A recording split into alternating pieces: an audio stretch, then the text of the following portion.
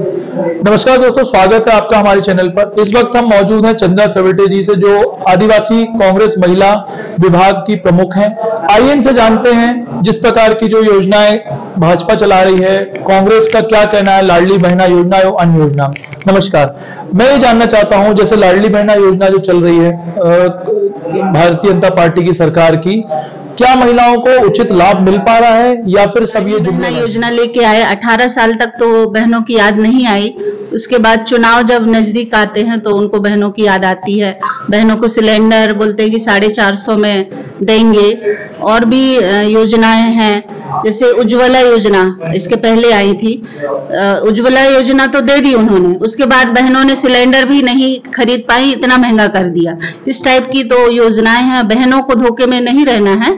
और मेरा ये कहना है कि जो कमलनाथ जी की सरकार जो आएगी 500 का सिलेंडर हर घर को देना है तो वो अपना वचन पूरा करेंगे।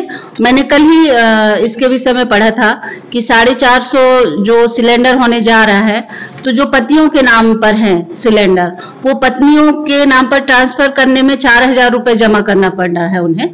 तो बहुत सारी कठिनाइयाँ आ रही हैं।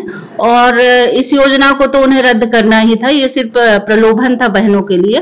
तो बहनों को समझ जाना चाहिए कि शिवराज सरकार या मामा जी की सरकार जो बच्चों के भविष्य को खतरे में डाल रहे हैं आए दिन घोटाला हो रहे हैं पटवारी घोटाला हो गए हैं और भी चीज़ें हो रही हैं जो भविष्य को बुरी तरह प्रभावित कर रहे हैं तो बहनों को इस चीज़ को महीना भाजपा लेकर आई है। महिलाओं के लिए कितने संवेदनशील है हमारे माननीय भावी मुख्यमंत्री कहूँगी मैं कमलनाथ जी का कहना ये है कि अगर अगर क्या उनकी सरकार बन ही रही है हम बहनें तो यही चाहती हैं कि हम आ, सभी का सभी बहनों का ऐसा मत है कि कमलनाथ जी की सरकार आनी चाहिए और आने के बाद पंद्रह सौ रुपए जो आ, नारी सम्मान योजना के तहत सभी बहनों को दिया जाएगा और 500 हर घर में सिलेंडर चाहे आ, मतलब पुरुषों के नाम में हो, सिलेंडर, या महिलाओं के नाम में है, उन सबको दिया जाएगा।